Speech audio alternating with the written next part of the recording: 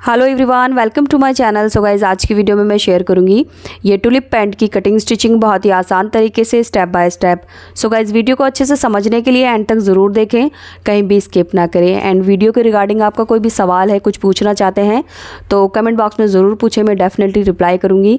इसी के साथ वीडियो पसंद आए तो लाइक करके शेयर ज़रूर कर दें और चैनल को भी सब्सक्राइब कर लीजिए, क्योंकि इस चैनल पर हमेशा इस तरह की वीडियो पोस्ट होती रहती हैं. अब बात करते हैं शलवार की. तो देखिए, ये शलवार का जो मेज़रमेंट है, कुछ इस तरह से रहेगा। लेंथ हिप और वेस्ट ये तीन मेज़रमेंट से हमारी शलवार रेडी हो जाएगी। और ये शलवार बनाने के लिए हमें कम से कम दो मीटर फैब्रिक की ज़रूरत पड़ेगी। तो मैंने दो मीटर बटर क्रेप फैब्रिक लिया है। फैब्रिक आप अपनी पसंद का कोई भी ले सकते हैं। इसके बाद हमने यहाँ पर लेस ली है तो ये लेस कम से कम हमें तीन मीटर लेनी है। तो मैंने ये कॉटन लेस ली है, ये देख सकते हैं आप। ये तीन मीटर कॉटन लेस है। इसके बाद कमर के हिसाब से हमने लास्टिक लेनी है तो लास्टिक की जो लंबाई है वो मैंने 28 इंच ली है और चौड़ाई दो इंच लेनी है। अब चलिए कटिंग स्टार्ट करते हैं तो पहले कपड़े को हम डबल फोल्ड कर लेंगे। डबल फोल्ड करने के बाद ये एक कॉर्नर हम बीच में ले जाएँगे। सो जिस तरह से हमारी आइसक्रीम की शेप होती है, वही शेप देते हुए हमने कौन शेप में कपड़े को फोल्ड करना है। ऊपर से हमने लगभग दो इंच या तीन इंच छोड़ना है।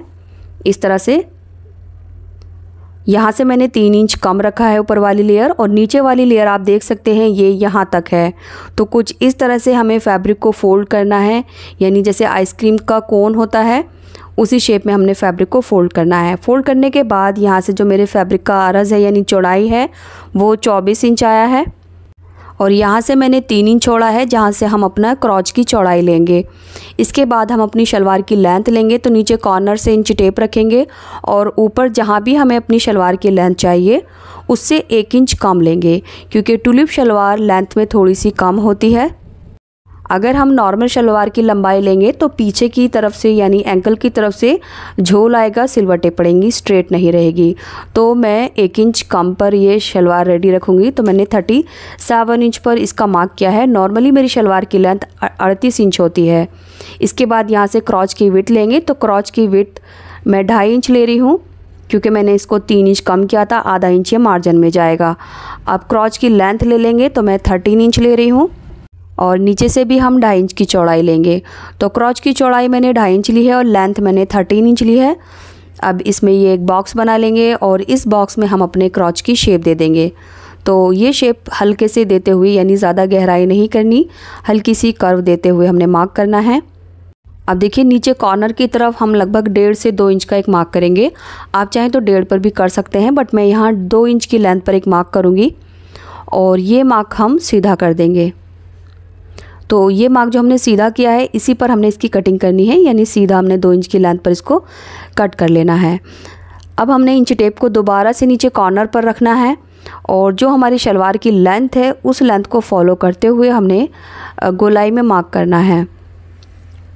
तो नीचे से इंच टेप को नहीं घुमाना, ऊपर से हम इंच टेप को आगे की तरफ़ लाते हुए पहले डॉट डॉट करके मार्किंग कर लेंगे, उसके बाद ये सभी मार्क को हम मिला लेंगे।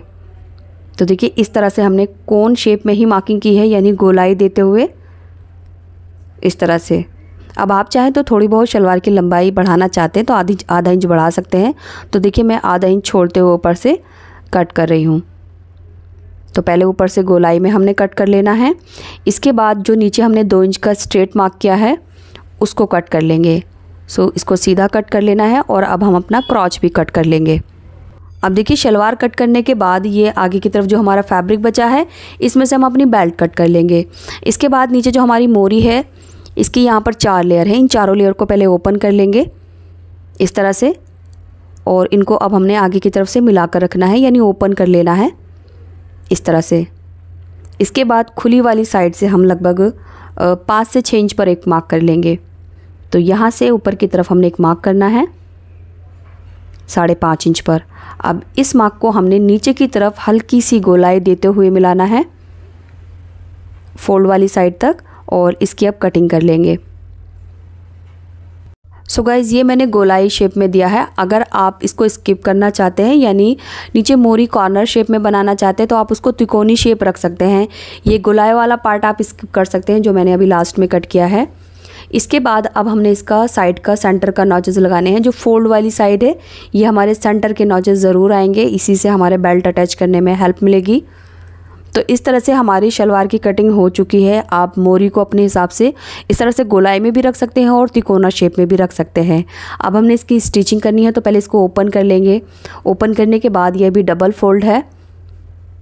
अब हमने इसका क्रॉस सिलना है तो क्रॉस से आधा इंच का दबाव लेते हुए यहाँ पर मैं मार्क कर रही हूँ। तो जैसे जैसे हम मार्क कर रहे हैं, उसी तरह से एक सिलाई लगानी होगी।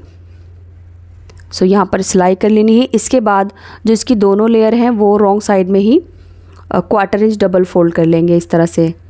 तो जैसे हमने क्रॉच इसका स्टिच किया, उसी के साइड में ये फोल्ड होगा, ऊपर वाला पार्ट और नीचे वाला पार्ट नीचे वाले की तरफ़ फोल्ड होगा, इस तरह से।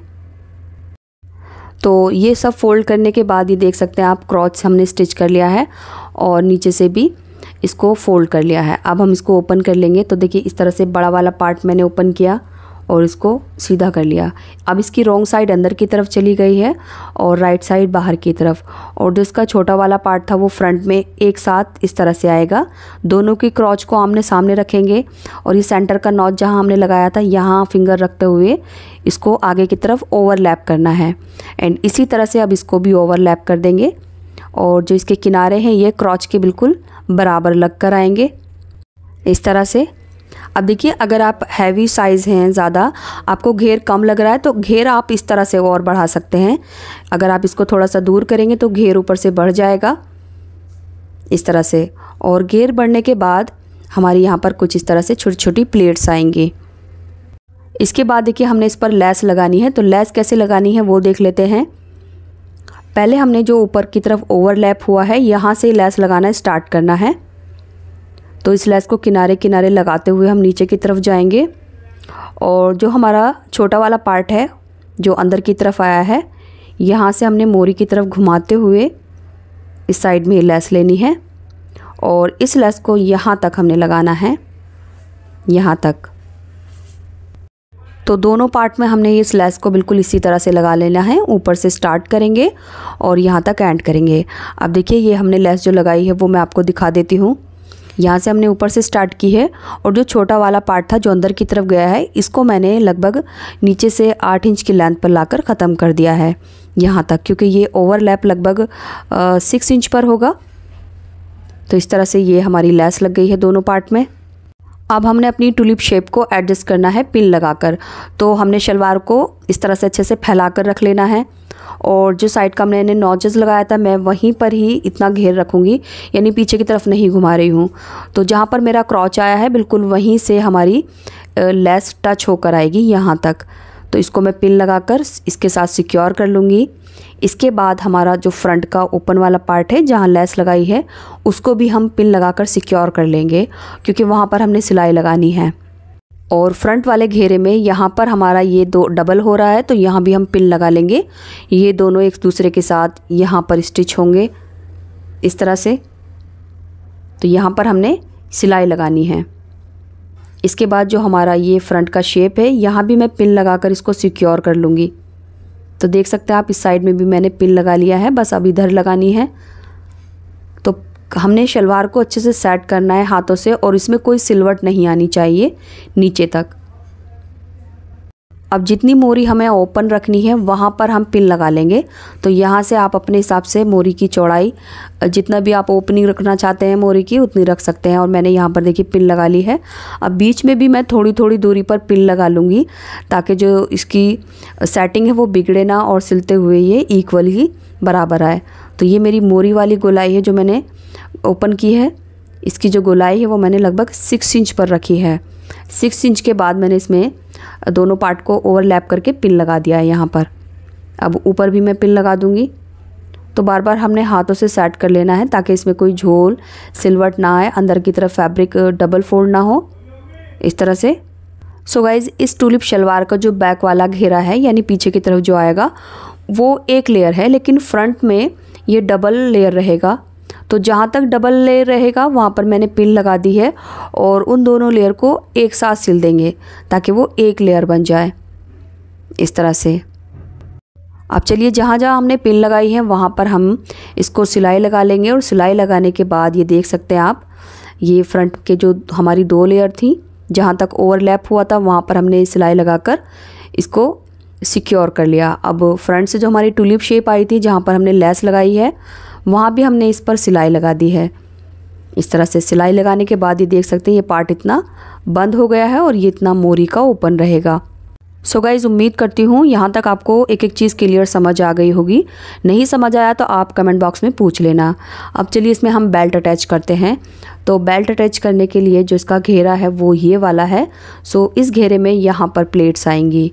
अब बेल्ट की लेंथ मैं उतनी ही लूँगी जितने से जितनी मैंने नीचे से इसकी मोरी कट की थी। यानी दो इंच की लेंथ पर हमने मोरी कट की थी।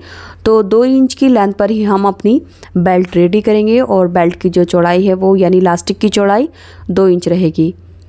और बेल्ट की जो लंबाई है वो अपनी कमर के हिसाब से लेंगे। जितनी भी आप नॉर्मल अपनी कमर की लंबाई लेते हैं, शलवार में बेल्ट की, उतनी ही इस तरह से गोलाई लेनी है।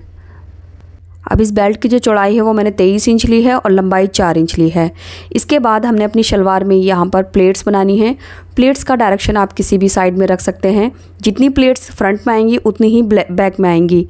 तो इस तरह से देख सकते हैं आप, हमने बेल्ट को अटैच कर लिया है। जितनी प्लेट्स मैंने फ्रंट में लगाई हैं, उतनी ही बैक में लगाई हैं। इस तरह से। तो देखिए, ये बैक की प्लेट है, दोनों तरफ़ साइड में चार चार प्लेट आई हैं और फ्रंट की प्लेट मैंने साइड में रखी हैं। सेंटर में नहीं रखी हैं क्योंकि फ्रंट में हमारी ये लेस वाला पार्ट है। तो ये प्लेट मैंने साइड में कर दी है। तो ये प्लेट्स कुछ इस तरह से आएँगी। प्लेट का कोई भी इशू नहीं है। आप छोटी, बड़ी कैसे भी रख सकते हैं। बस फ्रंट में आप ध्यान रखिए, ये प्लेट लेस के बराबर में ज़्यादा ना है साइड में रखनी है। बट बैक वाली जो प्लेट्स हैं, वो पीछे की तरफ़ सेंटर में डालनी है। अब देखिए, हमने अपनी लास्टिक लेनी है तो लास्टिक को हम अपनी कमर की गोलाई के हिसाब से लेंगे। जितनी भी हमारी कमर की गोलाई है, उससे चार इंच कम की लेंथ पर हम अपनी लास्टिक लेंगे और सिंपली इस लास्टिक को अपने नेफे में इस तरह से इंसर्ट करके बेल्ट को रेडी कर लेंगे। आप चाहें तो नेफ़ा बनाने के बाद लास्टिक इंसर्ट कर सकते हैं, या फिर नेफ़ा बनाते हुए hand to hand elastic insert करके बेल्ट बना सकते हैं। तो लीजिए, इस तरह से हमने ये बेल्ट लगा ली है। और बेल्ट के सेंटर में भी एक सिलाई लगा ली है ताकि लास्टिक हमारी नेफे में फोल्ड ना हो। इस शलवार के साथ जो मैंने कुर्ती बनाई है, उसका वीडियो आपको इसी वीडियो के पिन कमेंट, डिस्क्रिप्शन बॉक्स और यहाँ एंड स्क्रीन पर मिल जाएगा। सो इसको क्लिक करके आप इसकी कुर्ती की वीडियो देख सकते हैं।